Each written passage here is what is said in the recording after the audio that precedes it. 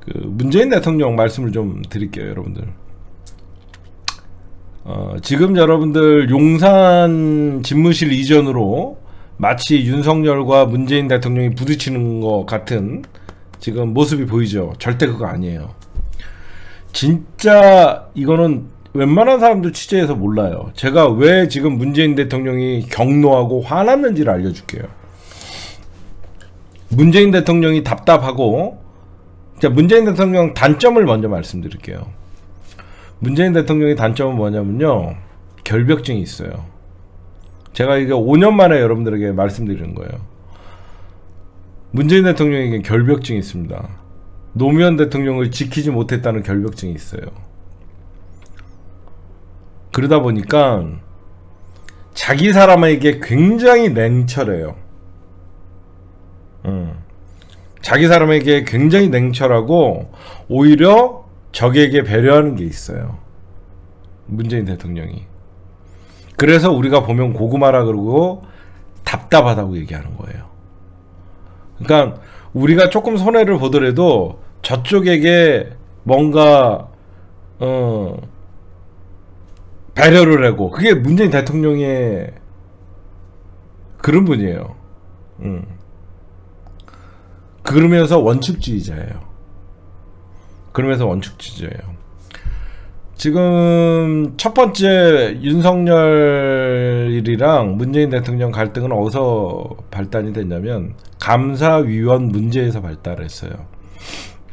그러니까 문재인 대통령은 내가 지금 현재 대통령이고 내 임기 중에 당연히 감사위원을 임명하는 것은 당연한 것이다.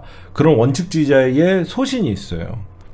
근데 어디서 부딪혔냐면 감사 그러니까 감사원의 최대 최고 의사 결정 기구가 감사위원회라고 있어요, 여러분들.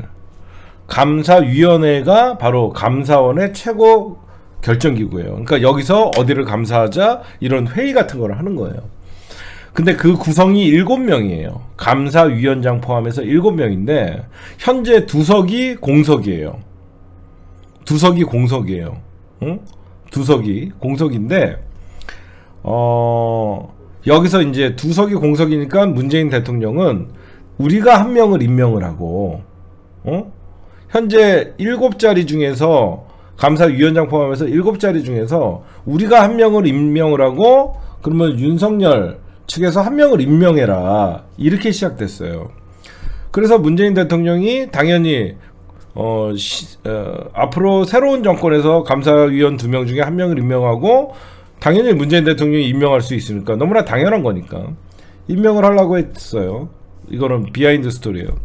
그래갖고 문재인 대통령은 누구를 임명하겠다라고 생각을 했죠. 그랬더니 이 장제원이나 이 윤석열 인수위원회에서 어떤 짓거리를 했냐면 문재인 대통령에게 누구를 임명할 건지 우리에게 명단을 달라 이지랄을 떨었어요. 어, 무슨 말인지 알아요? 문재인 대통령 입장에서는 기가 막힌 것이죠. 그냥 너네가 한 명 임명하고 우리가 한 명 임명하면 되는데 윤석열 인수위 측에서 너네 누구 임명할지 우리에게 명단을 달라. 한마디로 니네가 누구 임명할지를 보고 우리가 임명을 하겠다. 이렇게 된 거예요. 어. 그러니까 문재인 대통령이 웬만하면 화를 내시는 분이 아닌데 문재인 대통령이 이거는 현재 대통령을 모욕하는 일이다. 있을 수 없는 일이다.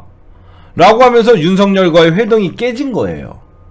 겉으로는 용산 기지 무슨 용산 기지 문제는요. 대통령이 이게 굉장히 안보에 공백이 우려가 있다라고 하면서 사실상 우려를 전했어요. 그거 옮기는 건 네 마음이다. 근데 현재 국군 통수권자는 나이기 때문에 나는 그 우려를 그 감수하면서 그걸 동의해 줄 수는 없다라고 하면서 우려를 전했지 진짜 문재인 대통령이 열받았던 것은 감사위원 두 명 중에 한 명을 윤석열 인수위에서 먼저 명단을 보여달라 그랬어요. 굉장히 건방진 행동이었죠. 거기서부터 시작된 거예요. 그래서 여러분들 왜 이게 중요하냐면 이 결국은 감사위원을 윤석열 측에서는 나머지 두 명도 지네가 임명을 하겠다는 거거든요. 지네가 관여를 하겠다는 거예요. 한마디로 우리가 두 명 다 임명하겠다. 왜 그러냐면 감사위원이 일곱 명이라는 게 왜 그러냐면 찬반 투표를 할 경우에 4대 3이 나오면 할 수도 있고 안 할 수도 있잖아요. 근데 현재 민주당에서 임, 어, 추천한 사람 두 명이 현재 자리에 있고요. 대통령이 임명한 감사위원장이 있고요. 그러면 현재 두 석이 공석이기 때문에 민주 그러니까 대통령이 우리 문재인 대통령이 하나 임명하고 저쪽에서 그러면 어네 명이 우리 문재인 대통령과 함께하는 감사위원이 되는 거예요. 그래서 저쪽은 어떻게든지 자기네들이 두 명을 임명해서 자기네들이 쪽에 네 명, 우리 쪽에서 임명한 사람을 세 명을 만들고 싶은 거예요. 거기서부터 부딪힌 거예요. 그래서 문재인 대통령이 오늘 여러분들 하는 하는 총재 바로 임명해 버리잖아요. 딴 건 다 용서해도요. 문재인 대통령이 여러분들 답답하다 이런 소리를 하지만 원칙주의자예요. 차라리 내 식구들이 당할 때 오히려 남을 배려하면서 자기가 속으로 우는 사람이지 그래도 남에 대한 엄청난 배려심 있는 젠틀맨이잖아요. 근데 이런 인사권을 침해하는 거에 대해서는 우리 문재인 대통령이 절대 용납하지 않는다는 거예요. 그래서 문재인 대통령이 진짜 화가 나 있대요, 지금. 음. 진짜 문재인 대통령이 그동안 이해하려고 노력했는데 윤석열이 저런 점령군 행세를 하는 거 보고 정말 화가 나 있다는 거예요. 음. 하여튼 이런 상황이었어요. 그래서 문재인 대통령이 오늘도 하는 총재를 임명을 해버리고 내 임기에서 인사권을 침해하는 것은 용서하지 않겠다 라고 현재 돼 있는 상황이에요. 여러분들이 어, 여태까지 그냥 그 국방부 이전으로 부딪힌 게 아니다. 어?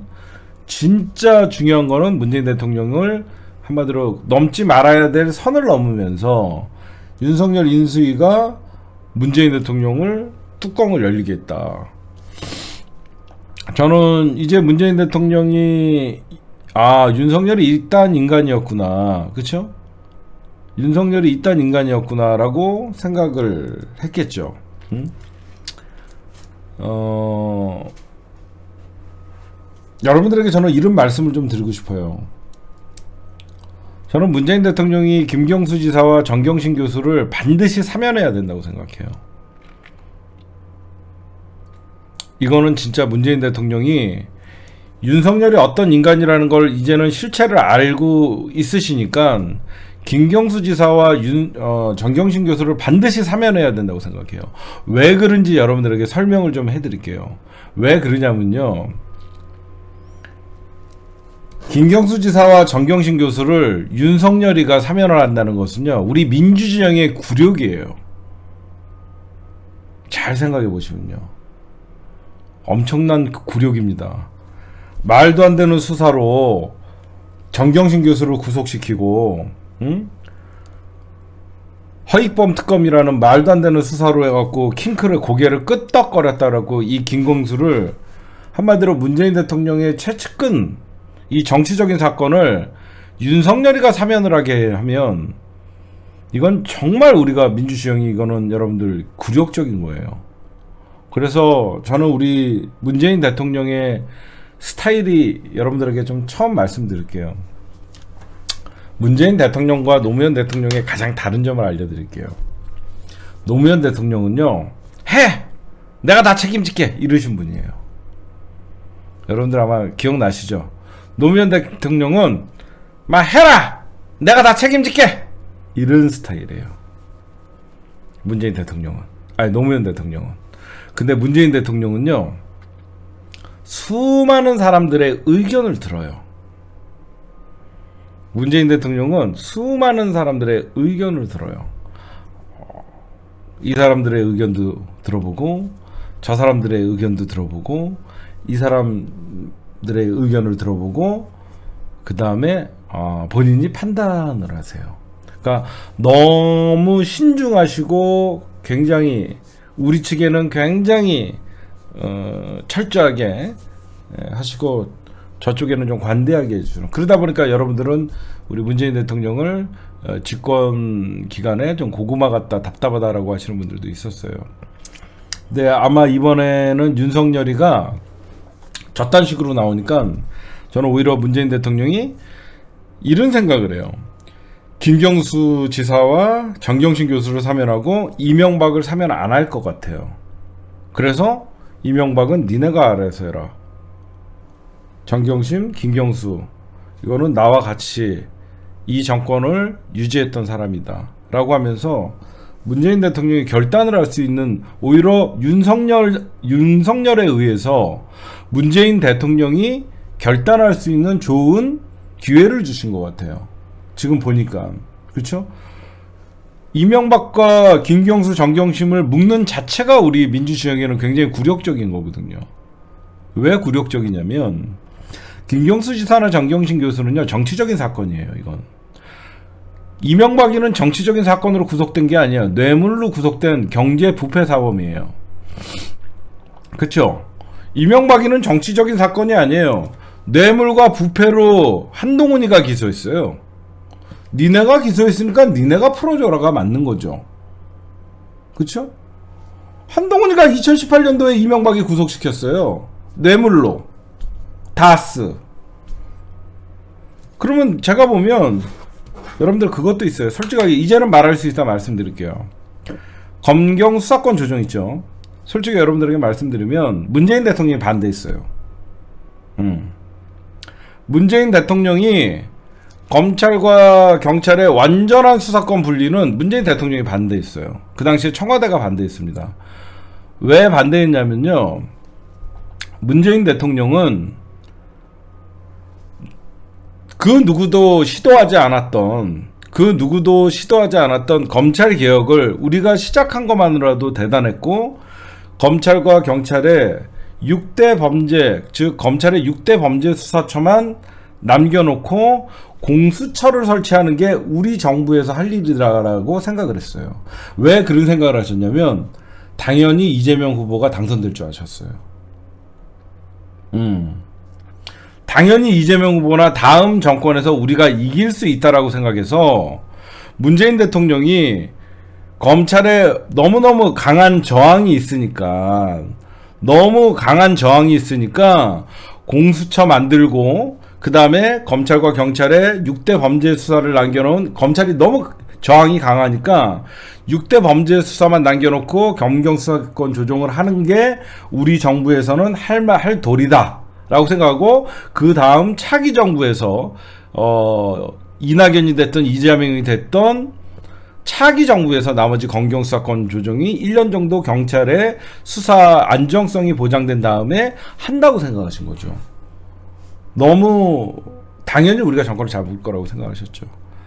그러다 보니까 이제 민주당에서 발칵 뒤집은 게 정권 뺏기자마자 이번에 윤호중 비대위원장이 믿을 수 없지만 지금 검경 수사권 완전한 분리를 진짜 이거는 그 누구도 반대하는 사람이 없어요.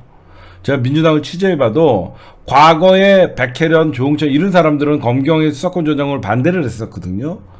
지금 민주당이 오히려 이번 달 안에 검경 수사권 조정안을 국회에 상정해서 4월 달에 통과시킨다고. 그러니까 이게 사실상 우리가 다음 정권에 청와대가 사실 반대했었어요. 완전 검경 수사권 조정의 완전한 분리는. 근데 지금 여러분들이 아시겠지만 저쪽에게 정권을 뺏겼, 뺏겼기 때문에 실질적으로 윤석열이 어떤 짓거리를 할지는 모르잖아요. 그래서 이제는 민주당이 여러분들이 이제는 비판할 땐 비판하더라도 검경 수사권 조정 완전한 분리를 위해서 여러분들이 빨리 해 나가면 여러분들이 응원을 해주세요. 알겠죠? 진짜 발등에 불 떨어졌죠. 그런 게 있고요. 아까도 잠시 말씀드렸지만 반드시 문재인 대통령은 저는 딴 거 안 바랍니다. 정경심 교수님이나 김경수 지사는요. 이거는 정치적인 사건이에요. 어떻게 보면 문재인 정부의 개혁을 막으려 그랬던 그리고 차기 대권 후보를 죽이려 그랬던 검찰 사법 쿠데타의 희생양들이었어요. 그렇죠? 지금 생각해 보시면 김경수, 정경식은 정경심 교수는 검찰 사법 쿠데타의 희생양들이었어요. 이런 희생양들은 문재인 대통령이 반드시 문재인 정부에서 수- 문재인 대통령 손으로 사면해야 됩니다. 저는 윤석열이가 사면하는 꼴을 못 보겠어요. 지가 이런 정경심 교수님 이런 없는 제도 만들어 갖고 지 측근들을 이용해서 구속시킨 이 정경심 교수를 마치 지가 아량을 베푸듯이 윤석열 따위에게 정경심 교수님이 나는 사면되는 모습을 보고 싶지 않아요. 정말로요. 저는 굴욕이라고 생각해요. 대통령도 잘 아시겠죠. 그렇죠? 전 정말 자존심도 상하고 윤석열 따위가 정경진 교수나 김경수 씨를 사면하면서 거기에 MB를 묶어서 양쪽 진영에게 환호를 받을 수 있는 저는 이런 거는 안 된다고 생각해요. 가장 조국 장관과 김경수 지사 그리고 정경심 교수를 가장 비참하게 만드는 거예요. 윤석열에 의해서 사면되는 정경심은 조국을 두 번 죽이는 겁니다. 저는 그렇게 생각해요. 그래서 우리 대통령이 꼭 결단하셔야 돼요. 저는 개인적으로 그런 생각을 하고